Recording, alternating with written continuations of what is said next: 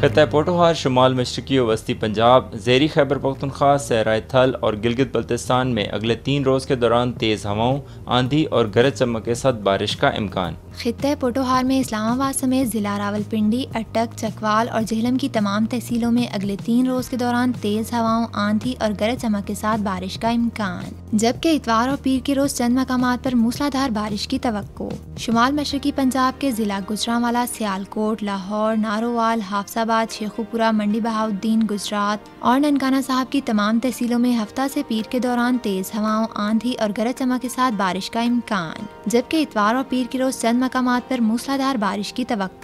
हफ़्ता से पीर के दौरान बस्ती पंजाब के जिला सरगोदा, फैसलाबाद, खुशाब, झंग, चिन्योट, उकाड़ा पाकपतन और टोबाटेक सिंह की तमाम तहसीलों में तेज हवाओं, आंधी और गरज चमक के साथ बारिश की तो जेर खैबर पख्तूनख्वा के जिला बन्नू वजीरस्तान टांग लकी मरवत करक डेरा इसमाइल खान की तमाम तहसीलों और सहराय थल के जिला भक्कर और मियाँ वाली की तमाम तहसीलों में अगले तीन रोज के दौरान तेज हवाओं, आंधी और गरज चमक के साथ बारिश का इम्कान। गिलगित बल्दिस्तान में आइंदा तीन रोज के दौरान आंधी और गरज चमक के साथ बारिश की तो गिलगित बूंजी चिल्लास और गिरदोनवा में ज़्यादा से ज़्यादा दर्जा हरारत चौंतीस से छत्तीस, जबकि अस्तोर्स, करदो और हंजा में सताईस से तीस डिग्री सेंटीग्रेड रहने का इम्कान है। किसान हजरात मौसमी पेशगोई को मद्देनजर रखते हुए अपने ज़रिए मामूला तरतीब दें।